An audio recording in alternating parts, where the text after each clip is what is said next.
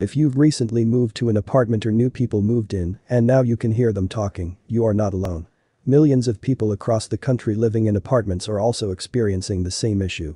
The perfect solution would be move out of the noisy apartment but we often don't have the luxury do we?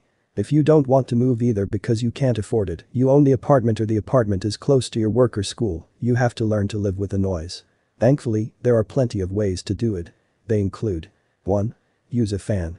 If the noise isn't too loud, use a fan to drown it.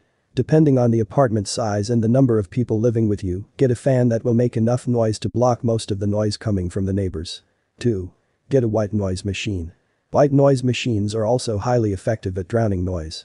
If you can afford the machine, get one.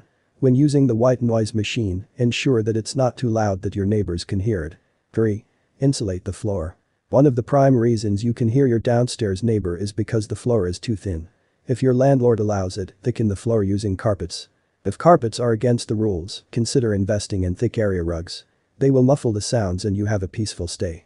If you own the apartment, consider insulating a floor below the baseboards. 4. Lock on a pair of earphones. If you live alone and don't mind earphones, install red noise on your phone and listen to it. By raising the volume to the right level, you will drown most of the noise.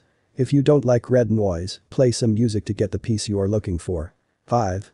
Talk to the landlord. If the noise is too bad, ask the landlord about considering improving the neighbor's ceiling.